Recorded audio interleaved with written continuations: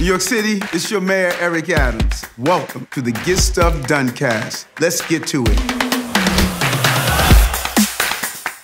Welcome to episode 13 of the Get Stuff Done cast. Uh, 13 is a lucky number because I am so lucky to, to have with me these two dynamic leaders in our country. Uh, and I'm I am really excited about just hearing some of the things that they're doing. Uh, first, uh, my brother, Congressman Steven Horsford, uh, con- congressional leader um, of the Congressional Black Caucus, and from Las Vegas, Nevada. I like to say over and over again, you don't bet on this brother, you win. He's a real winner.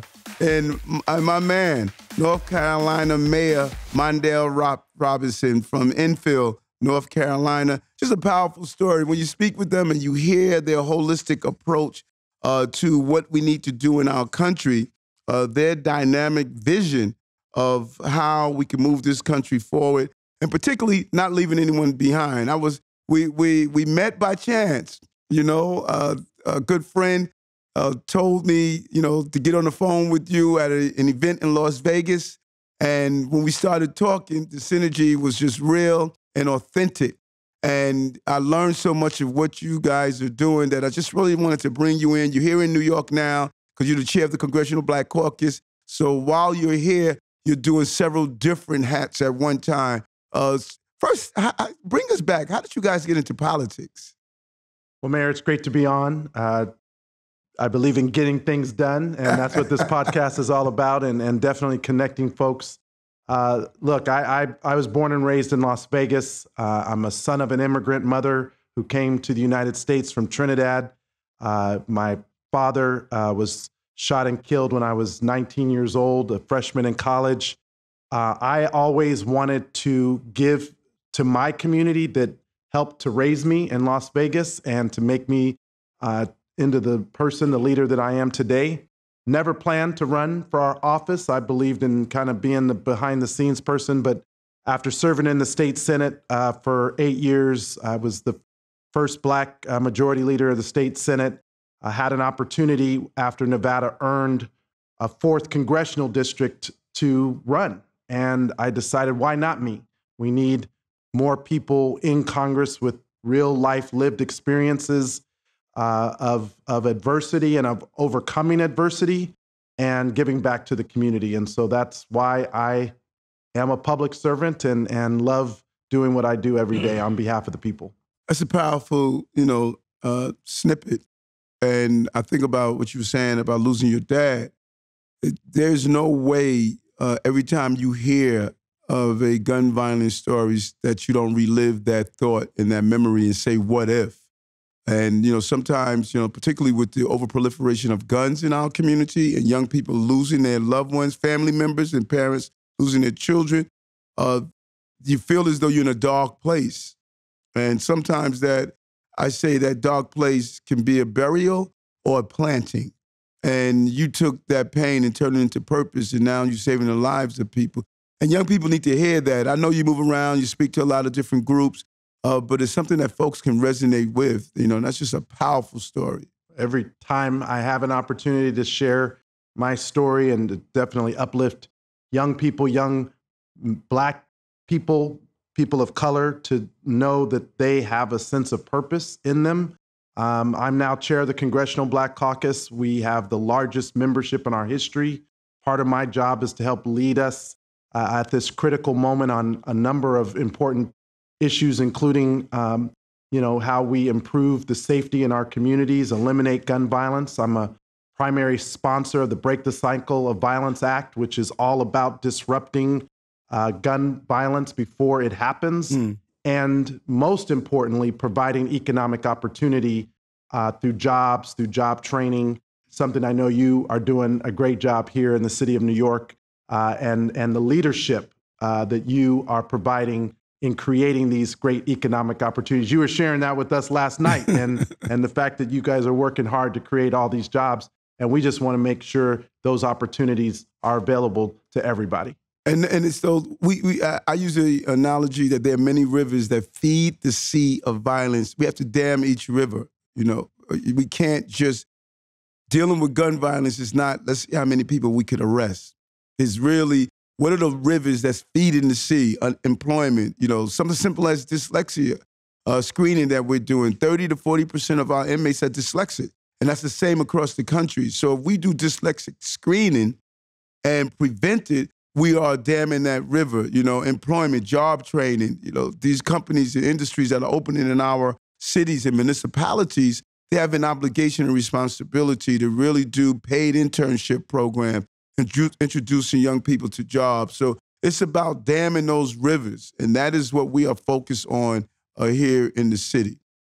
I, I, I come from that work. Uh, I, re- I ran, the, led the largest job training program uh, in Nevada for 10 years before I went to Congress, the Culinary Training Academy. It's a partnership between all the major hotels and the Culinary Workers Union. Um, so my work before ever coming to Congress was about creating those uh, those economic uh, dams, as you said, right, really right, the training. Right. Mm-hmm. And a lot, I've seen lives change. I've, mm. I've worked with adjudicated youth, homeless youth, foster youth, um, homeless, you know, people who did not come in with the skills, who left out with the confidence to know not only could they work in hospitality, uh, but we've helped expose training in a lot of other sectors, um, which is again is a priority of the Congressional Black Caucus because when we are creating opportunity, especially in new sectors, we have to make sure that we're intentional about how we reach uh, youth, especially Black youth, youth of color, who don't always see themselves uh, being able to to have the exposure to those jobs. And you know, uh, I draw oftentimes on my law enforcement experience when I look at some of the policies that I put in place. And uh, you know, I was the ranking member of crime and correction in the state, and then you know, using that same experience when I became a borough president, now mayor. And so, the employment issue is such a real issue. We need to really lean towards you and see where that success came from uh, being the largest uh, job training program in Las Vegas and get some of the ideas. So I'm going to look forward to have my team sit down and just sort of uh, have you brief us on some of the things you did because we're all looking how do we get our young people into the workforce and how do we meet them where they are, with, where their skill level is, and take them where they ought to be so that they can be gainfully em- employed. I say all the time the precursor to sleep, to experience the American dream is employment. You know, you have a job, you can raise your family, you can provide for yourself. And so uh, we are, I really want my team to connect with you and hear All some right. of the things that you're, you're doing. Truly, get it done podcast. He just got it done right here. I love it.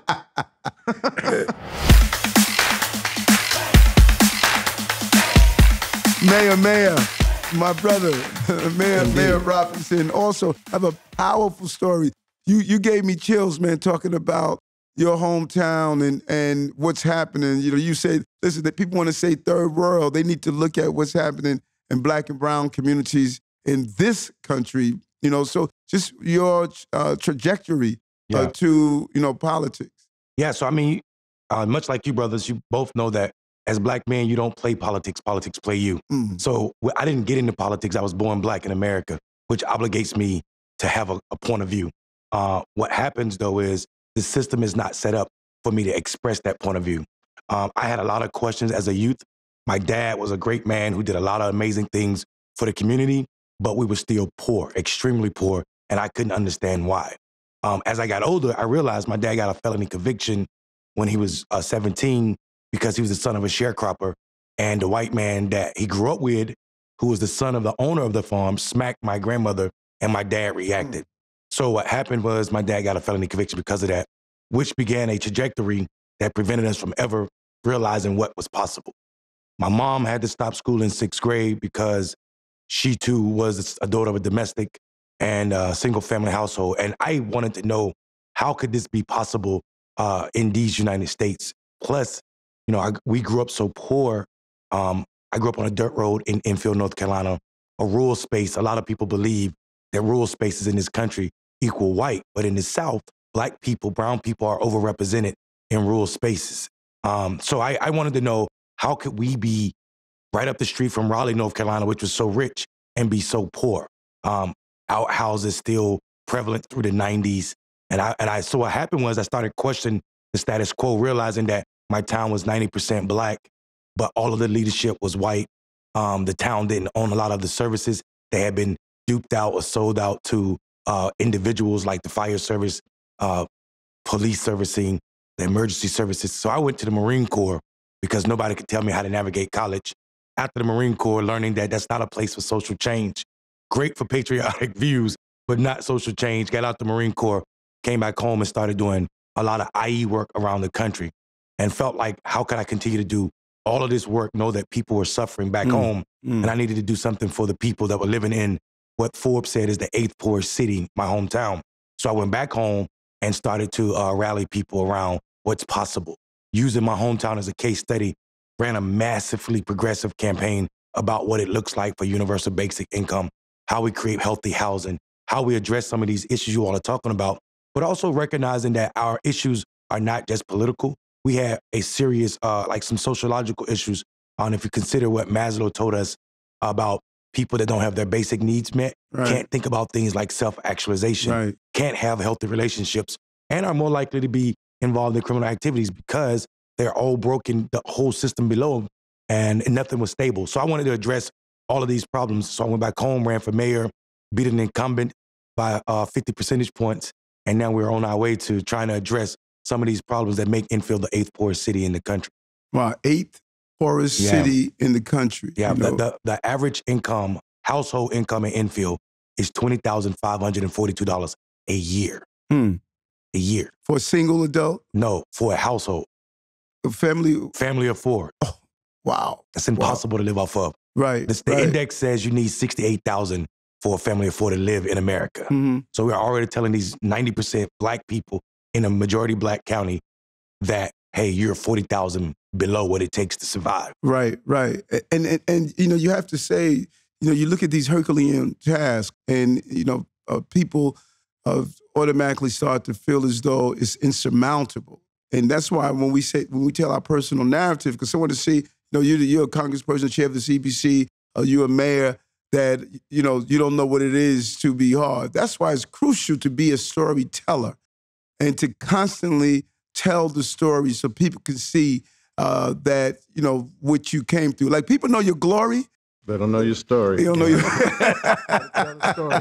you, know, you know, but you are doing something really exciting uh, with the whole uh, Black Men Vote initiative. And when you, you looked at the numbers and you realized uh, that across the country, uh, black men are not voting, and not really men of color are not voting. Can you lean into that? Tell me about that. Yeah, so Black Male Voter Project is is my child. I don't have any kids. Black Male Voter Project is my child. And uh, what I saw was 20 years of doing political work, going around the country. No one truly was doing a, a great job of engaging black men. And we know this because, like you said, 72% of the brothers that are registered in this country have not voted or only voted in one of the last three presidential elections. So what, what we do know, though, that's not a critique of black men. That's a critique of our tactics. We see politicians the electoral cycle show up in a very transactional way with a demographic that is the least successful if, if you're using social markers to measure. Black men are the least successful. We're the only demographic that can be born into a middle class or wealthy family and likely to experience poverty in our life. We have the shortest lives of any demographic, not just in America, but in all of the new world, right? Like, so when you think about all of these issues, which are political issues, we needed to do something that was more uh, not transactional, but more like transformative. So we created Black Male Voter Project as a love story to black men and, and how we engage black men does not inform like does not involve any of the traditional tactics. We use real world experiences and we engage and build our platform not based off of super voters, brothers like us, but people who are disengaged or not involved in politics. So we use uh, brothers who are in the streets, brothers who are part of street tribes, what the world call gang members, brothers who are participating in the underground economy to build a platform. We asked these brothers in a very intimate space, what would it take to get you involved in politics? What is your political stance on issues? And from that, we build our platform and we begin to engage all brothers, knowing that if we can move these brothers to the political process, then we, we're really expanding the electorate in a way that our community can benefit. We also know that when brothers uh, vote, they're less likely to recidivate. They're, they're, less like, they're less likely to participate in illegal activities and more likely to be uh, involved in other parts of community activities. So voting seems very simple, um, but for these people who are living lives who don't have their basic needs met, it's our avenue to take brothers out of this entire like shadow. No, and it, and it's and it's so powerful when you look at that simple act of walking inside a polling place and casting a ballot, something that folks died for, and there was a reason it was held away from folks for so long that we need to really meet folks where they are, not where we are, but where they are, and take them where they ought to be, and that's what I see. And Congressman, that's what I see. What you're trying to do across across the country, uh, and and the combination of looking at federal, state, and city is a real powerful, uh, potent combination. And so the CBC is leaning into this as as well. We are. You know, honestly, I sit here and I think back when this year started and, and starting as chair of the Black Caucus, one of my first meetings was with the, the Black Mayors Association to talk about how we could partner. Before I did anything as chair, I just went on a listening session mm. to all the different um, stakeholders. And as uh, Mayor Mondale just said, you know, a lot of times the very people that we're trying to reach feel like they're not included, listened to, consulted, or don't have a stake in what it is we're asking them to participate in. Now, to be clear, um, it's a choice to not engage in politics. Mm. But that doesn't mean we don't have a point of view. Right, as right. black people, as men of color, mm. uh, as as as as citizens. But we also that doesn't mean that that abdicates us from our responsibility as citizens when when things aren't going right. So the Congressional Black Caucus, after having a national summit earlier this year on democracy and race, um, because we saw all the issues coming down from the U.S. Supreme Court, the attacks on uh, our state representatives, the expulsion of the two uh, young leaders in, in Tennessee, Representatives Jones and Pearson, the attempt to erase history uh, that we're seeing in places like Florida and, and Texas, um, and the banning of books that was that was is happening mm. all over the country. Mm. We decided it wasn't enough to have a summit without a without a plan for action, and so we we implemented a democracy for the people um, Summer of Action campaign, uh, where we have been going across the country. We've been in seven cities. We're here in New York today. We'll be at Medgar Evers uh, College with uh, the, the delegation from the CBC from New York hosting us. And we're doing two things. We're having a town hall with constituents to hear directly from them about what they care about in their democracy and what it means to them from their schools to the courts to voting but also to the to the other issues of the economy, of gun violence, of how we can um, create more equitable opportunities around housing. Those issues always come up in the town hall as well. But the second part of what we're doing is we're doing um, organizing training, civic education in partnership with People for the American Way, where we're literally building a cohort of organizers, democracy defenders in each of these cities so that we're not leaving, we're actually embedding mm. uh, a seed in each of the communities that will continue to work not just with the Congressional Black Caucus, but with the partnership of of city and county and state officials at every level. And I'm really excited to be here with you uh, and our delegation uh, through the CBC. I know we had an opportunity uh, to visit uh, a number of the migrant centers and to learn what the city is dealing with and, and the leadership that you're managing on that issue, um, among all the other issues that you have to deal with. But our democracy is under attack at this moment. Well said. Mm-hmm. But we have power also to defend it. And so, my message to young people, to anyone listening, is while you may be concerned about our rights being eroded, our freedoms being taken away, that doesn't render us powerless or hopeless. And our Democracy for the People initiative is one attempt uh, to help respond uh, to that effort. So I'd encourage people to go to democracyforthepeople.org.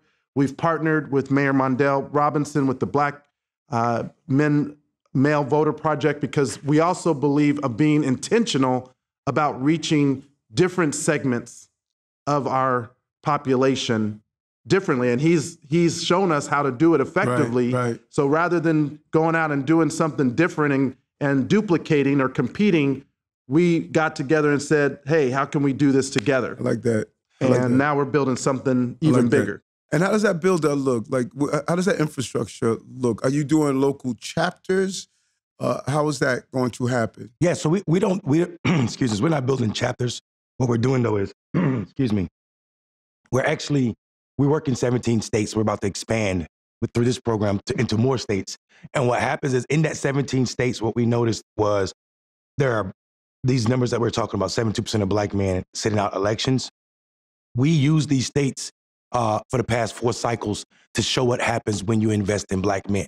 Um, there's a there's a direct correlation between investment in a demographic in a way that's not transactional. When you show up year round, when you're providing services, part of the work that we do is we teach brothers with felony convictions how to code. We teach brothers with felony convictions who are coming home from prison uh, into life care so they can be providers. We send them around the country where black men are dying in hospice with no family members and friends, and they go visit with these brothers and sit with them till they pass. What's happening is there's a level of compassion that's being taught. Also, the person who's dying is dying with dignity, so they can think that they- won't think that their life didn't matter. Um, but also, these brothers come back. That program is called Street Legacy. These brothers come back with a different uh, understanding of what Transform. exactly transform, not just for the person who passed, but just the one that's sticking around. Um, and and so we, we're we're providing services that don't traditionally look political, but they absolutely are. They, this gives us the ability to be trusted messengers. Um, so right now, like I said, we're in 17 states. We run full programs year round. Um, most of our programs are service-based programs providing access. Because what people don't talk about is investment in voters is how people vote. Mm. There's no pathology in black men to say, oh, we're going to sit out elec- elections. White people in Iowa aren't better situated than black people to be better voters. What happens is our party, our party, the Democratic Party, spent 40 years invested in Iowa as a first state for pri- presidential primaries. If they would have did that in Mississippi, that muscle, that political muscle would be in Mississippi. But and, and Mississippi wouldn't be a bright red state. So we know that investing in brothers will turn out more voters. We saw this in Georgia, where we was, was our first state. We actually turned out more brothers in 2020 than voted for Barack Obama. Georgia has 1.1 million black men registered to vote. Of them, 460,000 that were eligible to vote for Barack Obama did not in 2012. In 2020, we took of that 420,000, we targeted them all year in 2019. And of that 420,000, 137,000 participated not just in the general election, but in the Democratic primary. We took responsibility for that because in June, when Georgia had its genu- uh, primary, Biden was already the nominee. So you can't say they was excited about the presidential election. This was the work of engaging these brothers, focusing on issues that were important to them, not responding to Republican talking points and prioritizing their needs, making them seen in your in your politics. And that's what we're doing in all of our states. So this program is going to be expanded. Hopefully, uh, you're going to be an ambassador in New York Hmm. um, because we, we we see a great opportunity in your state too with the number of black men that you have here um, and the way that they're disengaged with the political process. So what we're trying to do now is reimagine how politics work. Politics shouldn't just be this thing that started after Labor Day cookouts Mhm. um, with church fans and proverbial fried chicken. Right? You need to talk to brothers year round about these issues, and we need to stop lying and saying this is the most important election with the most important candidate, and tell brothers the truth. Politics is not going to serve everything or solve everything, but it is a tool in the box that you cannot build anything without using. Mm. Love it. Love it. Love it.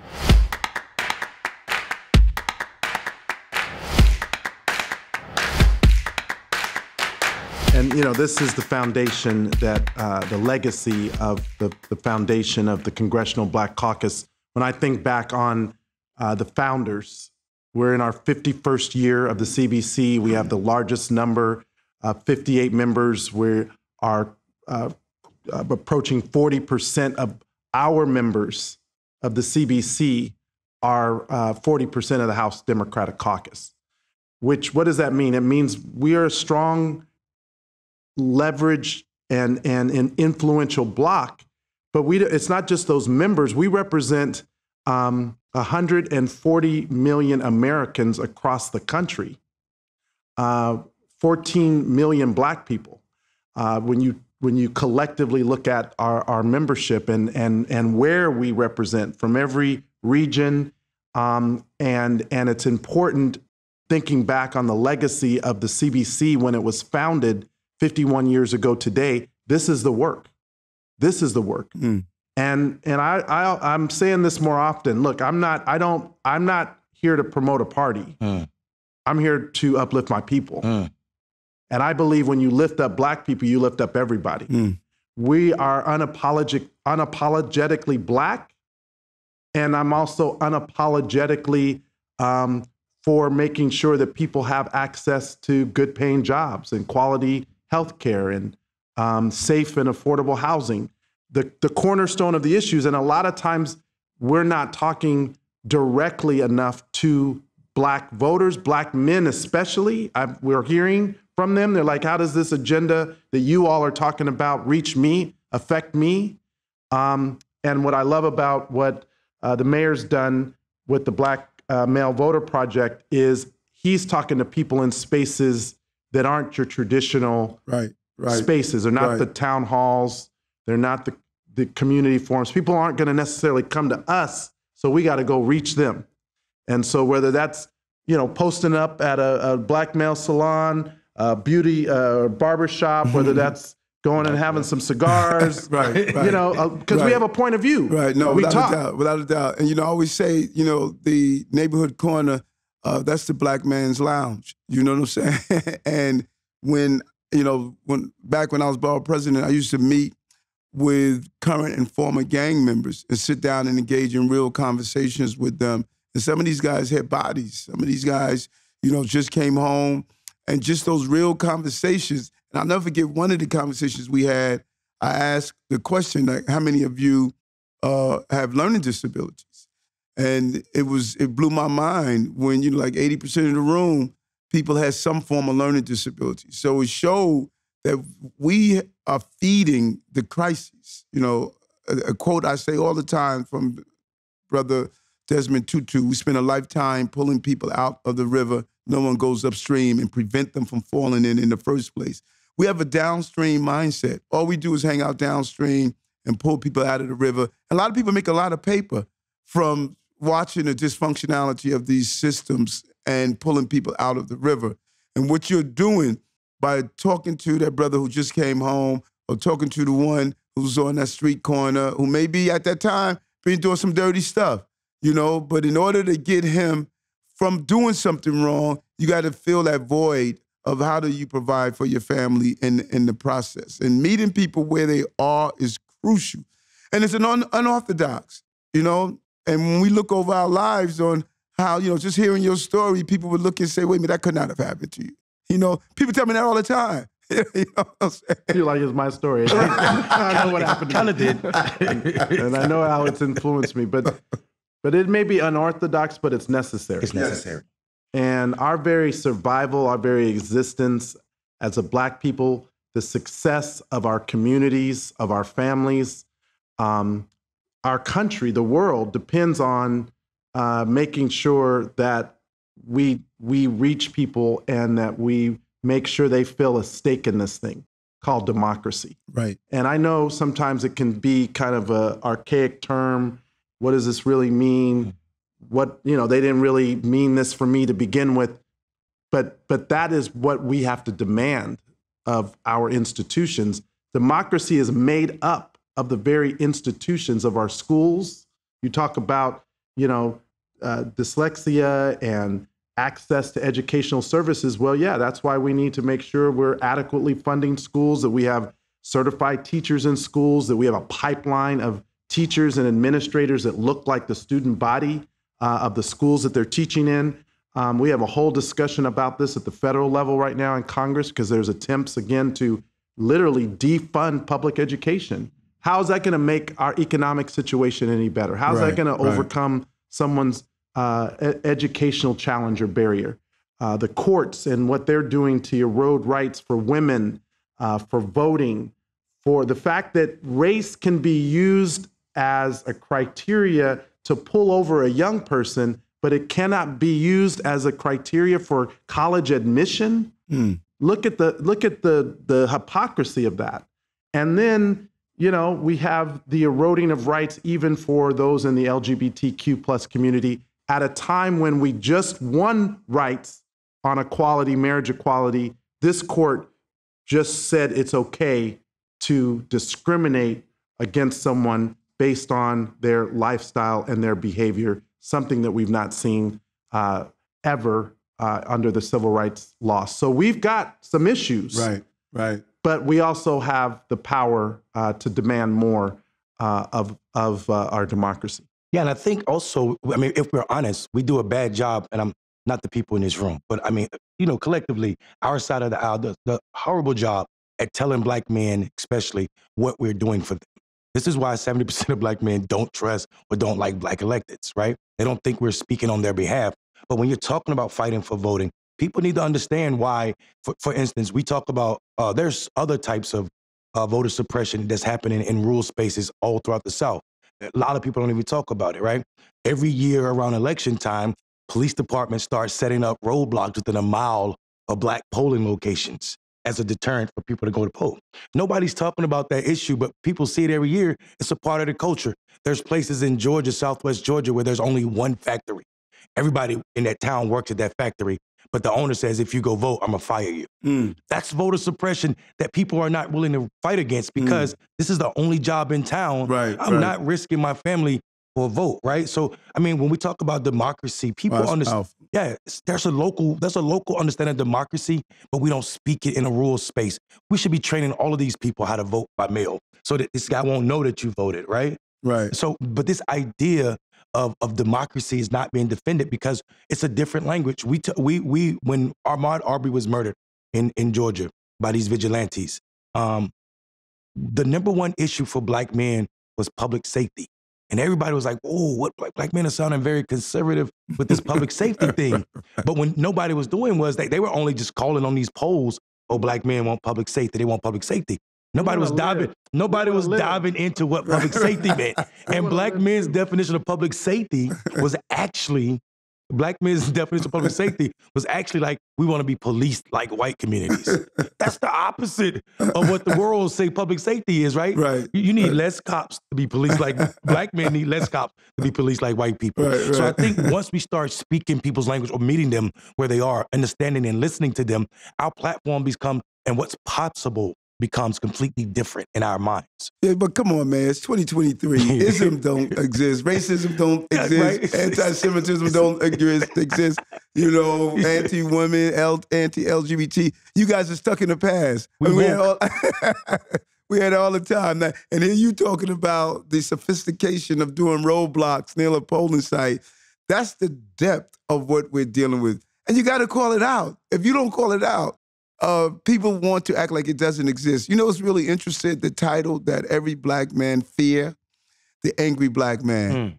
So you hold in all that pain and anger because if you get that title, your career is destroyed. You'll never move up in corporate America. You'll never be able to carry out the things you want to do we have to be fearless of that title and say, "You damn right, I'm angry." Why wouldn't I be? I care about people. I care about black people specifically. I got to be angry in America. I listen. I tore down uh, the first month in office. No lie. Uh, the board voted. The board voted before I was elected, two years. But the, the the mayor that I defeated wouldn't remove the Confederate monument in the city park. It was sitting there. This monument I saw it my whole life. And on one side, it had a white only fountain, and there was a spot where it was supposed to be black only, but that thing was corroded and fell off. But massive Confederate flag, massive, like carved in beautiful marble and granite. And so I got the board to revote to take it down. And I got country guy with a tractor say, hey, let's go knock this down tonight. SBI investigated me. Everybody was at the city. They was angry, and, and I'm they like, what's wrong with this angry black man? This monument was not bothering anybody, and I'm like, it's bothering people because of the epigenetics, mm. the trauma mm. associated with stuff mm. that my mm. ancestors went through is real, and I refuse to let any other black kids sit idle by that. Right.